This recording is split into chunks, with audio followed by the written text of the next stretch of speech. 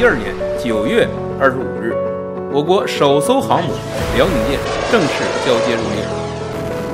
我们在一起啊，研究航母，研究舰载机，也研究飞行技术。最终，我们突破了捉舰技术，推开了舰载机飞行这扇厚重的大门。从首批的十几名女舰员，再到我们现在有上百名女舰员。